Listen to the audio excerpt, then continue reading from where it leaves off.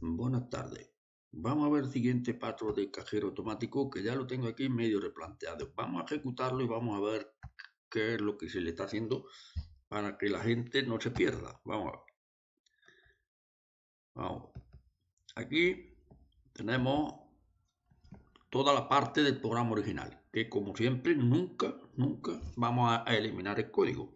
Entonces, se le ha puesto aquí la cantidad de billetes que queremos que cargue. ¿Por qué? Porque ahora cuando empecemos a hacer pruebas aquí puede ocurrir que nos quedemos aquí sin billetes y, como no vamos a ver este botón porque va a estar oculto, pues nos va a dar, puede dar algunos problemas, etcétera, etcétera. Entonces por eso se le ha puesto 50. Esto es lo que hace esta parte.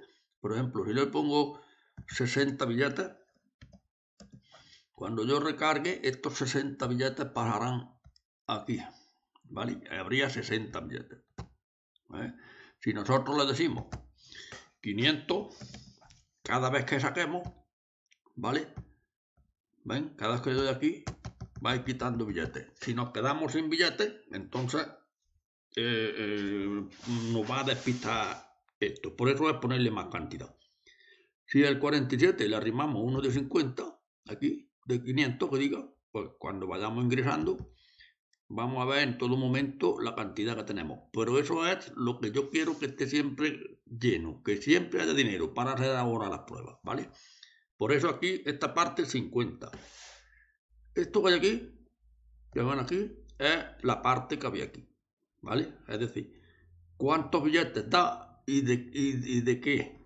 ¿Eh? Entonces da un billete de 500, dos billetes de 200. Toda esta, esta parte puesto aquí.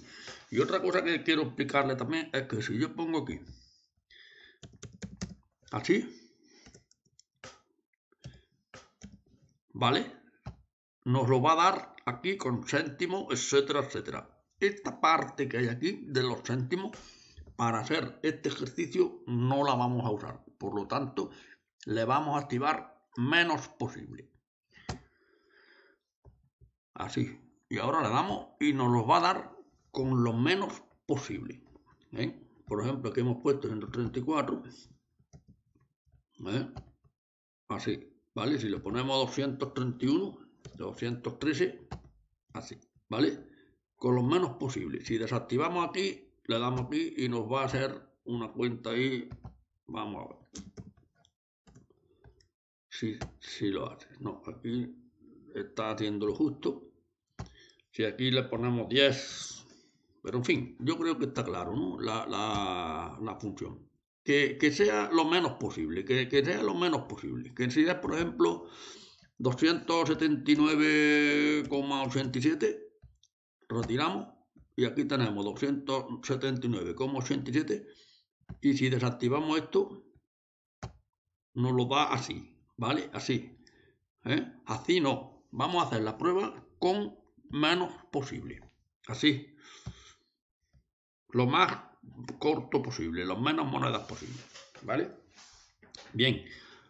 Eso yo creo que está clara la parte esta. El insertar moneda ya no es aquí, está aquí. Habrá que bajarlo un poco, está un poco alto, pero lo he puesto aquí. Y lo suyo es que esté aquí. Es decir, yo tengo que arrimar aquí el billete. 10, ¿vale? Si esto lo reiniciamos, si arrimamos aquí el billete de 50, ¿vale? Lo aquí, perdón, ahí, 50, ¿vale? Y ahora venimos con este de 100, 150, y si le decimos que no lo retire, ¿vale? Es decir, nosotros queremos sacar 200 eh, euros, pues le tenemos que poner aquí otros 200 euros, o sea, sacar, no, introducir, ¿vale? Entonces, en, eh, esa cantidad nos la va a poner a nuestra cuenta, aquí, en nuestro saldo, ¿vale? Eso ya lo iremos viendo poco a poco, esa es la idea, ¿vale? En un principio lo que vamos a dejar claro es que esta parte oculta es la parte antigua. Esto se va a activar y siempre nos vamos a usar el, más mínimo número de, eh, de monedas, ¿vale?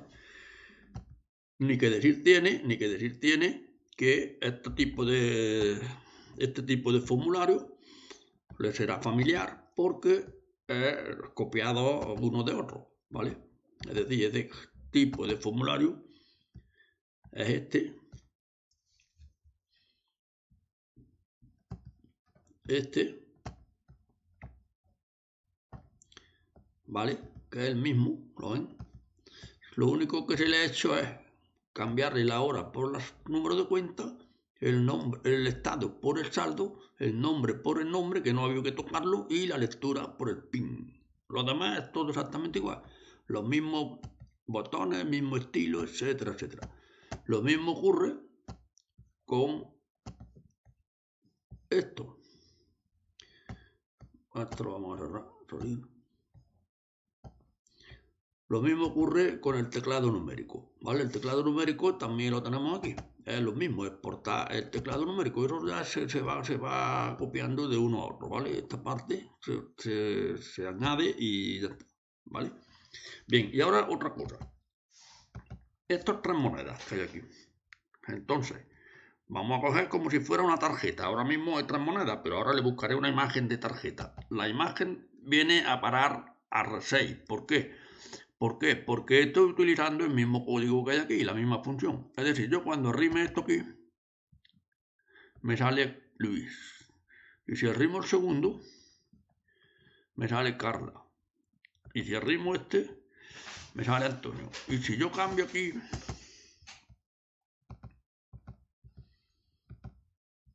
los nombres, ¿eh? si yo esto cambio,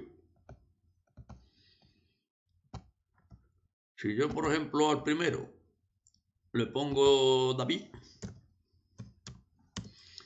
y al segundo le pongo María y al tercero le pongo Juan, si yo esto lo guardo, ¿vale? Cuando yo arrime aquí el 2 será María. ¿Eh? Aquí. Y si arrimo el 1 es David. Así.